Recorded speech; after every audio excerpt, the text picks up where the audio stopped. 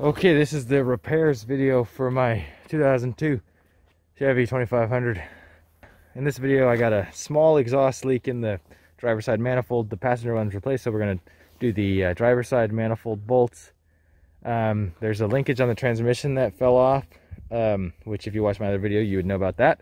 So we're just gonna put that back on somehow. And um, the main part is we're just gonna be taking all this rust off the frame because it's got a little scaling happening here. Nothing goes through. It's all just scaling. So it's not uh, all the way through yet because these guys have huge, like half inch thick steel frames. They're the 2500 frames on here. Take a look at that. It's beefy. So surface rust really isn't that big of a deal, but it is, it should be taken care of. And uh, up here, it's in much better shape than back there. So that's why I got, I'm starting back here because it's a little worse. So I'm just gonna start by removing the spare tire under here.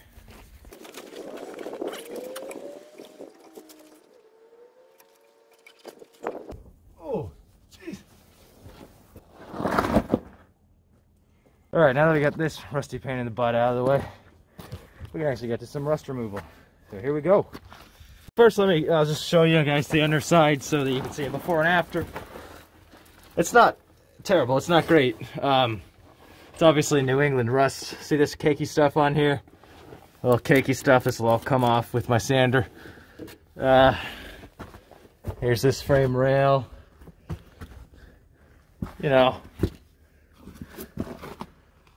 it's got some cakey stuff. So there it is.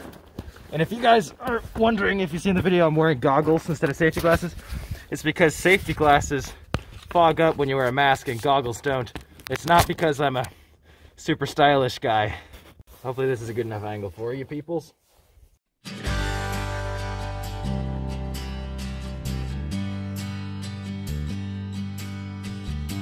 Take a look at how effective this uh, air hammer is. It's pretty awesome. So all of this is just caked on. All this rust here caked on. Let's a little hit from the hammer.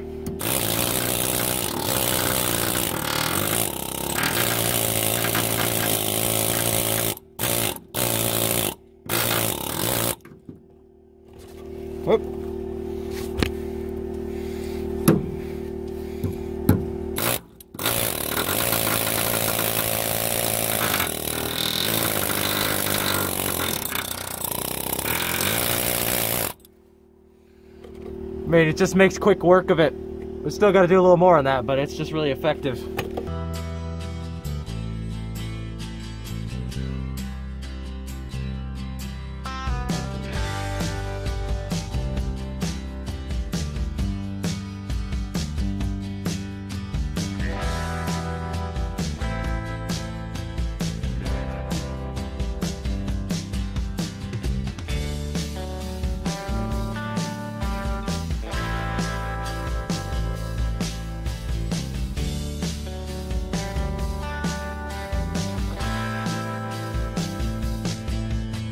So as you're uh, sanding away at the frame or chipping away at the frame, sometimes I come across these little white spots and I say, wow, I'm finally reaching bare metal. But then you look closer, no, it's actually just salt deposits.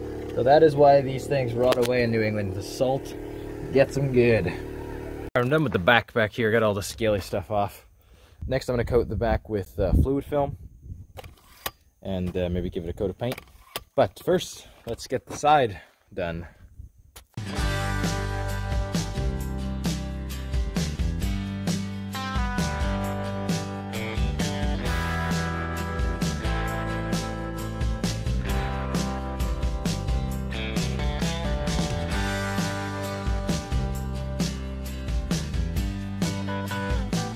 So most of the of the rust was in the back area.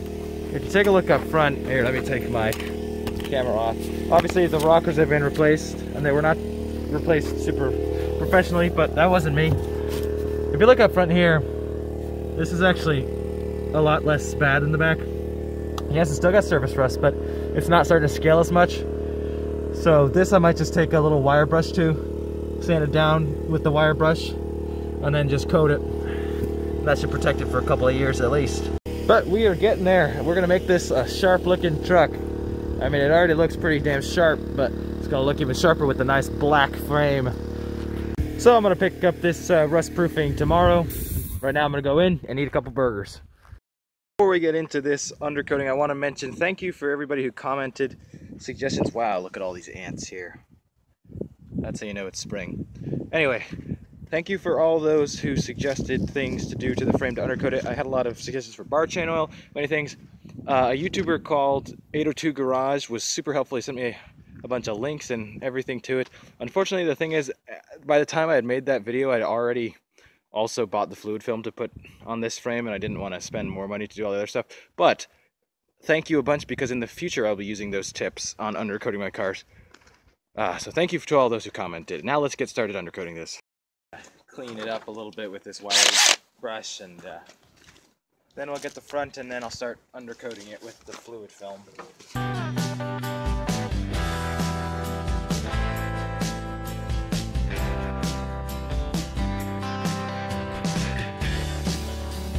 Um, here's what I got is this fluid film protection.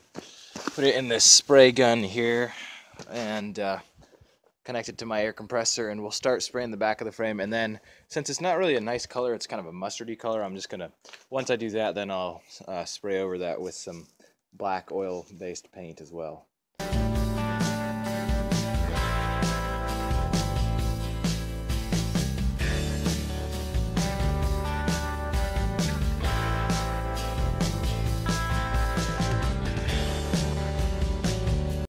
Well, I made it through the first uh, bottle. I'll hook up the second one. Keep going.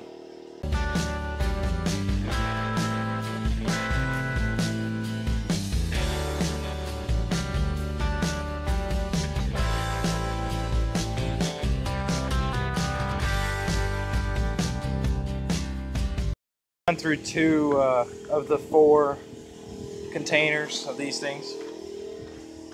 So you can see this is why, why I'm going to cover it in black because I don't like this mustardy color that it gives off there.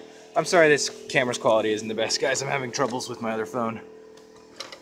Underneath you can see I got all the important stuff down here. I'll show you a little more later too but I got the frame rails, the cross members, all that stuff. And we're just going to keep keep at it.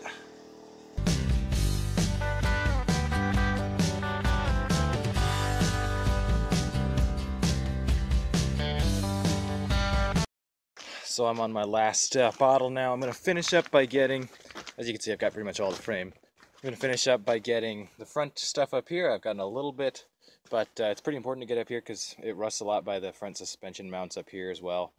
I think up front there and then by the back rear suspension mounts are the most notorious rust spots on these trucks, but I'm not 100% sure on that, especially near the front clip. And uh, then we'll be finished up and then I'll head, head down to the store and buy some maybe some black Rust-Oleum to spray over that stuff.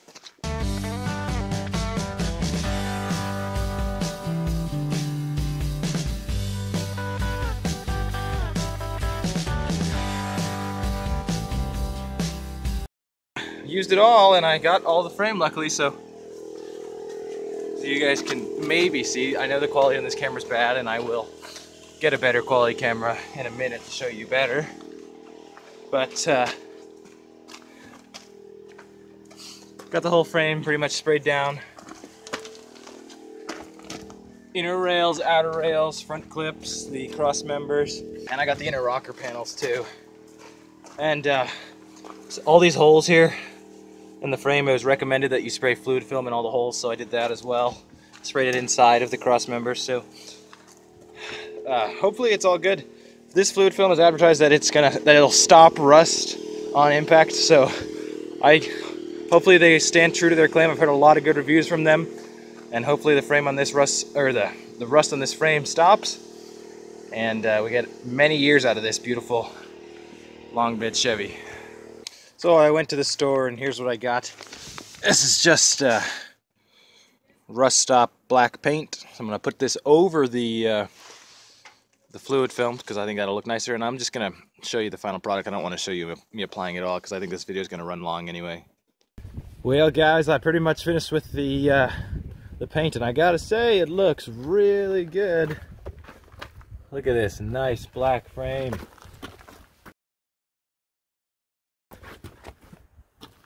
Let's go all the way around. Then I'll show you underneath. I didn't skip out on any spots, so this is 100% covered in fluid film, and then over the fluid film is the coat of that Rust-Oleum. Let's get underneath. Just take a look at the difference. Axle's all painted. So to reiterate what I did was, uh, it was first with the air hammer. I took off all the scales, and then I went with the wire brush. And with the wire brush, I took off all the little surface rust areas. And then fluid film and Rust-Oleum. That was what I did. You guys can say in the comments whether you have better methods, although a lot of people said in the last video already. Anyway, I'm pretty, I'm actually very happy with how clean and rust-free it's looking under here. And I'm confident that this truck, this truck's frame at least, has many years ahead of it now.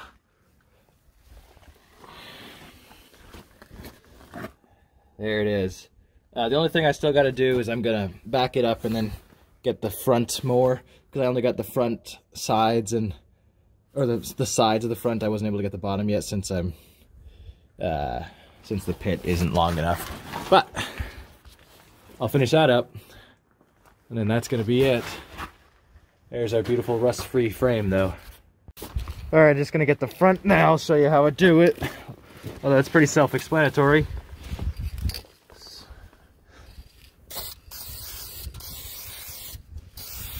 And no, I did not fluid film the control arms. I didn't have enough for the control arms, unfortunately.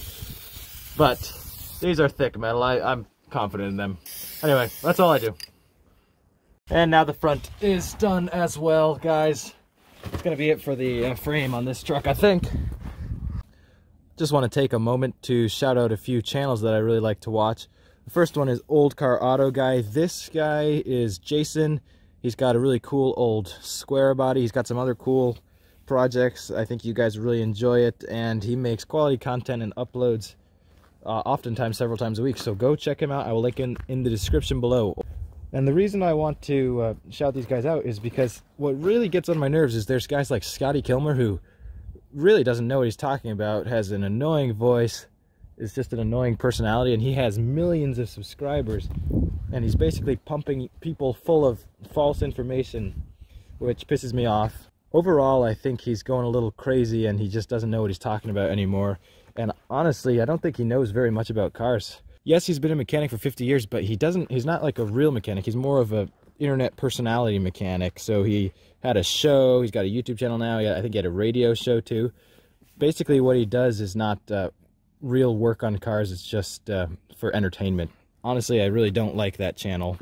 And I think that uh, Jay Smart, an old car auto guy, 802 Garage, Zip Ties and Buy Supplies, uh, D-Boss Garage is also one of my favorites. These guys actually know what they're talking about. Um, they're pretty unbiased. Well, Zip Ties is obviously biased towards Fords, but he's a great guy anyway. Anyway, back to work on the truck. And if you guys do like Scotty Kilmer, that's okay. Please don't unsubscribe from me for saying that. That's just my opinion. Okay, next up is I bought five of these marker lights for my Silverado. I, they were super duper cheap on eBay. It was $13.99 for all of them. Unfortunately, that means they didn't really come with anything. So all they all they came in with was this. No wiring harness, no hardware to install it or anything. So I'm gonna have to do some wiring. I played around with it a little bit with my uh, battery here just to find out, you know, how you have to give it power. Uh, Maybe it's this way, actually. Yeah, because black is always ground. So, we're going to have to figure out how to mount it, but uh, I'm just going to try to wire it into the, maybe tap into the fuse box, so every time you turn on the lights, these also will come on. I don't really know yet, but the first thing I'm going to do is just extend these wires longer, because they seem like they're way too short. Uh, unfortunately, my electrical kit is very limited at this moment and all the stores are closed, so what I'm going to be doing to put them together, and I know you guys won't like this, but I'm just going to twist them and put electrical tape on it. That's uh, really not, there's really not many options around right now, and maybe I'll fix it once the stores open back up.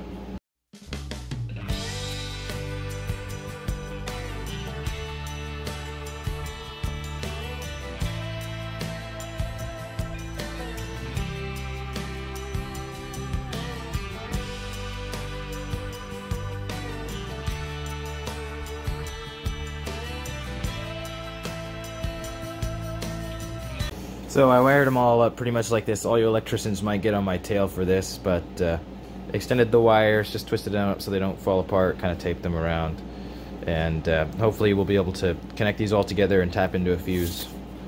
So basically these lights are called marker lights and they're generally on 2500 so I don't know I'm not sure why they weren't on this one um, sometimes they're federally mandated if a truck is too big just to market as you can see this 2500 has it and I think that it really makes this truck look a lot cooler with it so I want to add it to the other 2500 and I think that'll look it'll make it look more like a big truck which is what I want I'll do some measuring now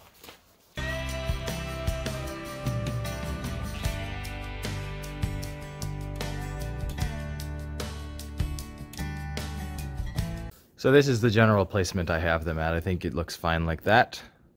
Now I got to take down the headliner so I can access the wires up in here.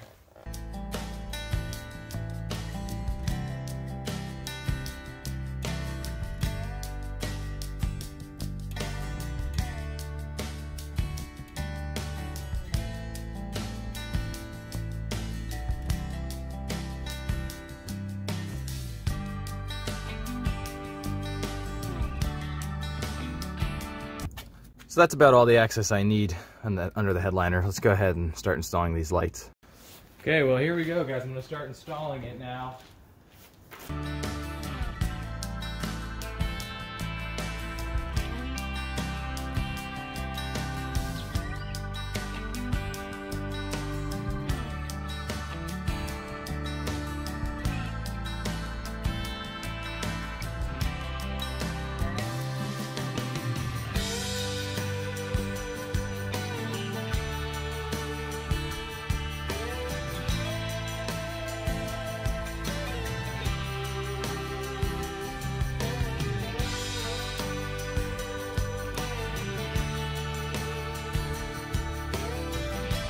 Well, there they are. Let me know what you think in the comments. Gimmicky or cooler?